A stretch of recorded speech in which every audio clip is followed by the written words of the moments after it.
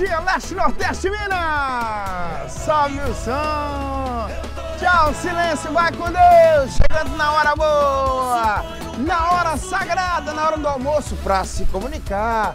Com você do Leste, com você do Nordeste, o Balanço Geral.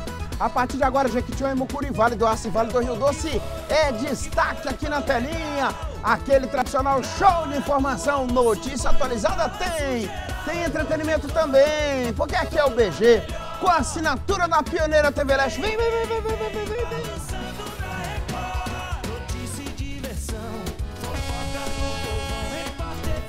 Tem, é o balanço geral. Eu aqui, você aí, parceria que deu certo. Não me abandone, vem comigo. Tá acabando o mês. Terça-feira, 27 de junho de 2023. E o BG já está no ar. Tá acabando junho e eu não comi um copo de canjicão até hoje, Lamonier. É. E o BG já está no ar com imagens ao vivaço nas lentes dele. Flávio Motabelo mostrando a rua Engenheiro Roberto Lassance. É no bairro Vila Isa, Vila Isa querida. É, menino, do outro lado dessa rua ali tem um, caldo de cana com pastel que eu vou te contar um negócio, hein? Eu sei, eu conheço. Alô, Flavinho, pode pegar um caldo de cana e pastel por minha conta aí, viu? Aí sim, hein?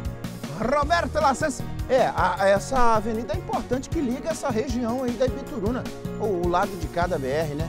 É, ali vai para Vila dos Montes, Vila do Sol, 1 e 2, Vale do Sol, Cidade Jardim, não é? São Raimundo, é? Como é que é o nome do outro lado, do lado de São Raimundo, não, né? Vera Cruz, Alto Vera Cruz, passa tudo por ali, ó. Passa tudo por ali.